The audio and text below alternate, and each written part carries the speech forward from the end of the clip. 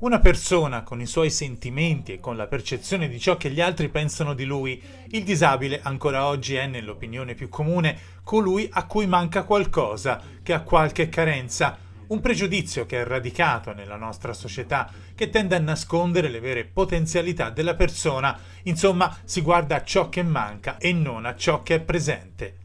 Lo dice e lo scrive Tommaso Fanucci, 26 anni, affetto da una grave forma di disabilità motoria, laureato in discipline dello spettacolo e della comunicazione nel suo nuovo libro dal titolo Scomodo il mio percorso a ostacoli, edito da Felici Edizioni, presentato a Pescia all'interno delle sale della Fondazione Poma. L'esigenza di scrivere questo libro è partita prima da qualcosa di psicologico, poi in seconda battuta forse la più importante di, la, di, la, di lanciare un messaggio alle persone meno fortunate che, che, magari non ce la fanno a combattere contro l'istituzione scuola per dargli forza anche alle famiglie e per far sì che non siano più emarginate come è capitato a me. Ma perché scomodo? Da cosa è ispirato questo titolo? Chi è scomodo? Io sono scomodo, ci dice lo stesso Tommaso. Perché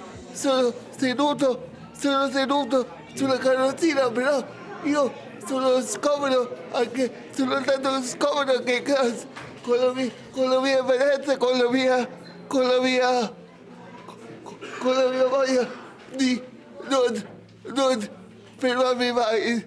Insomma, ecco, questo è il motivo.